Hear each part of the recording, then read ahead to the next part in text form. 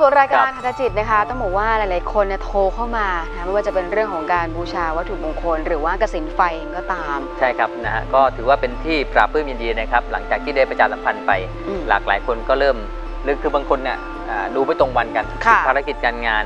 หรือไปแนะนำเพื่อนๆมาอืนะม รับชมรับฟังกันแต่แล้วเนี่ยโทรเข้ามากิ้งก้างเข้ามาเรื่องของกสินไฟแล้วก็ต้องขอบคุณนะครับเมื่อคือทุกๆเบรกเนี่ยผมจะไปฟังเสียงโทรศัพท์บางครั้ง มาซ้อนกันก็ต้องรอเวลานิดนึงนะหลังจากจบรายการก็โทรมาสอบถาม เรื่องไม้กลายเป็นหินอ่าคือองค์ครูพระพิราบนะครับที่จะเอาไปสร้างโบสถ์แล้วก็รูปหล่อองค์เหมือนนะครับพระพุทธวิหารจอมราชันค่ะหลากหลายแบบที่เห็นเนี่ยนะฮะเอาไปสร้างโบสถ์กันจริงๆ โดยไม่ได้หักค่าใช้จ่ายอะไรทั้งนั้นนะฮะโบสถ์นะฮะตั้งกันหกหลังด้วยกันใช่แล้วก็ค่ะรวมถึงหนึ่งมหาเจดีย์ดังนั้นมากน้อยก็แล้วแต่แรงศรัทธานะครับ ไม่ทำไม่เป็นไรส่งแรงใจมากก็ยังดีนี่นะแหครัละบที่เห็นอยู่คุณนี่ผู้ชมคโทรับรเข้ามาได้นะครัคะบโทรเข้ามาสอบถามนะหรือว่าลงชื่อจองกันได้อย่างอ่ารูปหล่อองค์เหมือนบรมครูพระพิราบเนื้อไม้กลายเป็นหินครับ นั้นเหลือแค่ประมาณ 9 องค์เท่านั้นนะคะ ต้องรีบโทรเข้ามาลงทะเบียนกัน 0831997972 แล้วก็ 0851293697 นะส่วนใครที่จะไปกสินไฟกันที่เชียงใหม่ ก็ต้องรีบโทรเข้ามาลงต้องโทรชื่อเข้ามา เช่นเดียวกัน ครับเอาละมา SMS กันต่อเลยดีกว่าค่ะ มาที่คุณ คุณสุพจน์ค่ะ จากอุบลราชธานีครับ เบอร์โทรศัพท์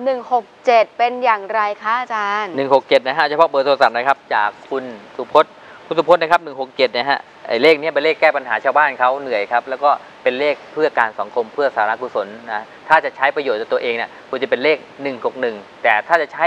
นะ แล้วมันผิดไหมก็ไม่ผิดแล้วครับ ใช้ได้เรื่อยๆนะครับแต่ตังค์ไม่ค่อยเข้ากันนั่นเอง เวลาเจรจาเรื่องงานนะฮะเรื่องงานคนอื่นเขาสำเร็จได้แต่เรื่องส่วนตัวเลขนี้อย่าไปเคลียร์ครับไม่จบครับอ้าวเป็นเลยเสร็จแล้วนะฮะสวัสดีชาวรายการจังหวัดอุบลทุกๆท่านด้วยนะครับ SMS ต่อมาค่ะ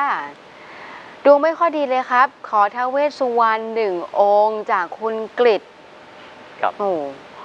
ถ้าวันขอมานี้วันนี้ถ้าวันนี้ที่มอบให้เดี๋ยวห้าท่านผู้โชคดีเรามอบไปแล้ว แต่มอบให้พิเศษใช่อีกหนึ่งองค์ครับค่ะนะฮะก็คือตัวดวงไม่ดีก็ส่งกันเข้ามาจ้ะมีก็จะให้นะครับมาร้อยคนก็ให้ร้อยคนแต่ว่าอ่นะฮะส่งมาแค่คนเดียวก็มอบให้หนึ่งองค์นี่แหละค่ะนบอกว่าครูใจแถมให้ดีแถมเป็นให้พิเศษนะครับให้ละกันนะสำหรับคุณกฤษนะคะ SMS ต่อมาค่ะ มาที่คุณ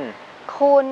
คุณสมพันธ์ครับเมื่อไหร่จะหมดหนี้คะสมพันธ์นะฮะดีใจด้วยยังครับ ยังแค่ชะลอตัวหรือทุเลาก็นั่นเอง ของคุณจะตึงเครียดเนี่ยก็มีตุลานะพฤศจิกา แต่ว่าธันวามกรานั้นช่วงนั้นขาขึ้นแล้ว ฉะนั้นลุ้นตรงนั้นครับกำลังจะดีขึ้นจ้ะนะครับ SMS ต่อมาค่ะ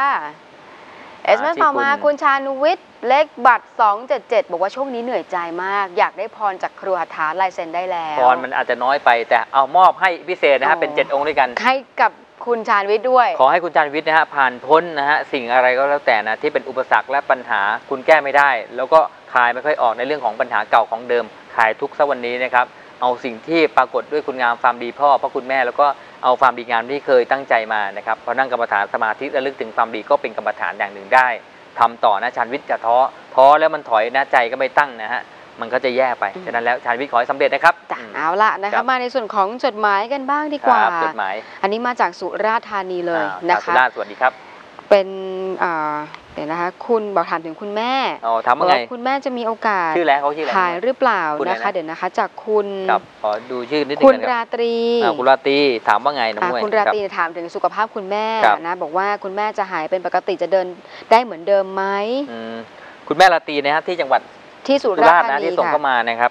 ดูแล้วนะฮะในจังหวะของคุณแม่เราเนี่ยมีการป่วยและป่วยแหลงต้องนอนนะนอนพักฟื้นยาวๆเลยฉะนั้นแล้วเห็นใจนะครับเพียงแค่ทุเลาแต่หายไหมไม่หาย แล้วคุณลูกต้องอยู่ใกล้ชิดเป็นพิเศษด้วยเพราะคุณแม่เองอาจจะต้องนะดูแลนะโดยเฉพาะเรื่องของหยูกยาแล้วก็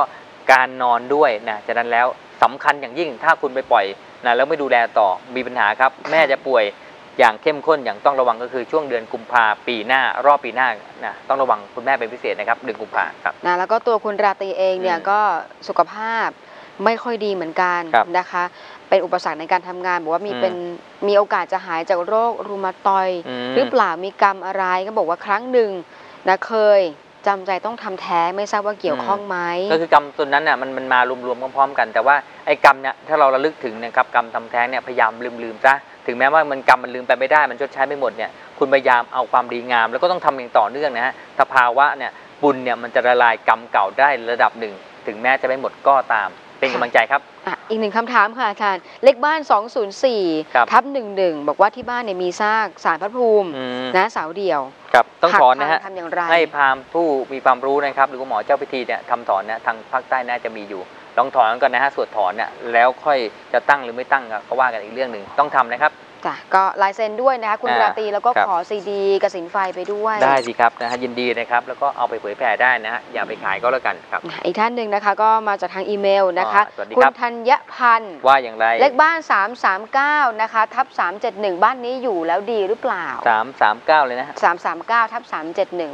ราการอยู่ดีไหมอยู่ดีมีสุขนะครับ หรือเขาบอกว่า คนไทยสามว่าอยู่ดีมีแหงอ่านะอยู่ดีมีสุขนะครับไม่เป็นไร อย่าลืมนะทำบุญบ้านนะแต่เป็นช่วงที่ช่วงปีใหม่ทำบุญสักครั้งหนึ่งค่ะหรือนิมนต์พระนะครับมารับสังฆทานที่บ้านก็ได้ครับอะคุณธัญพันธ์ขอลายเซ็นอ่าด้วยผลิตภัณฑ์นะครับ คุณธัญพันธ์